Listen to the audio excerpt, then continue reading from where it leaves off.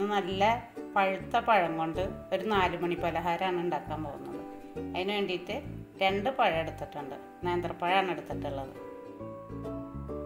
ഇനി പഴം ഉരിഞ്ഞെടുത്തിലേക്ക് രണ്ട് ടേബിൾ സ്പൂൺ മൈദ ചേർക്കണം. രണ്ട് ടേബിൾ സ്പൂൺ അരിപ്പൊടി. അര ടീസ്പൂൺ ബേക്കിംഗ് പൗഡർ. കാൽ ടീസ്പൂൺ ഏലക്ക പൊടിച്ചത്. രണ്ട് ടേബിൾ സ്പൂൺ പഞ്ചസാര ചേർക്കണം. മധുരം ഒന്ന് ബാലൻസ് ചെയ്യാൻ വേണ്ടിയിട്ട് ഒരു നുള്ള ഉപ്പ് കാൽ കപ്പ് തേങ്ങ ചെറിയതും ചേർക്കണം.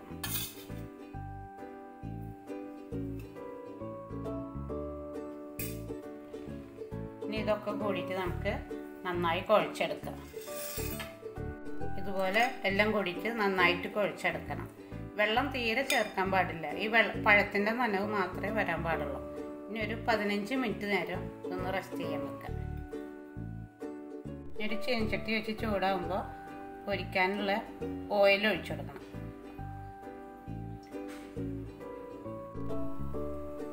എണ്ണ ചൂടായത് ഇനി ഇതിന് ഓരോ ടീസ്പൂൺ എടുത്തിട്ട് മാവ് ഇതിൽ ഇട്ട് കൊടുക്കണം.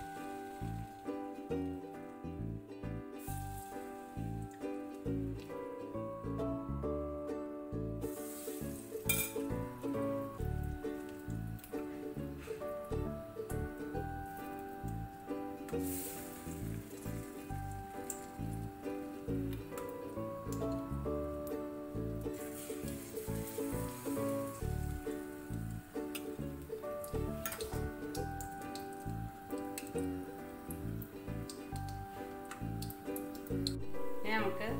അപ്പുറത്തെ ഭാഗത്തേക്കും തിരിച്ചിട്ട് കൊടുക്കാം. ഇതുപോലെ ഒരു ഭാഗം മുരിയുമ്പോൾ മറ്റേ സൈഡ് തിരിച്ചിട്ട് കൊടുക്കണം.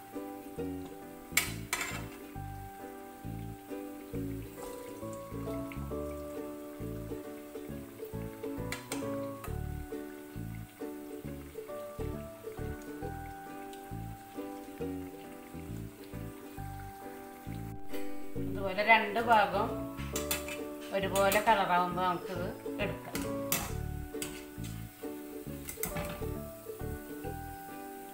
ഇനി ബാക്കിയുള്ളതും ഇതുപോലെ പൊരിച്ചെടുക്കാം.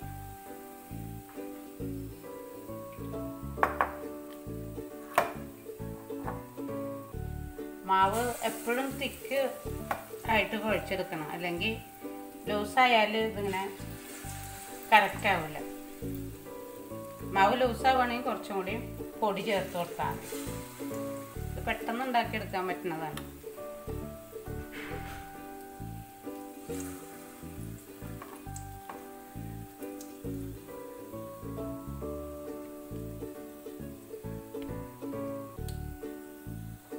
അതുപോലെ നമ്മൾ ബാക്കിയുള്ളതും പൊരിച്ചെടുത്തിട്ടുണ്ട്.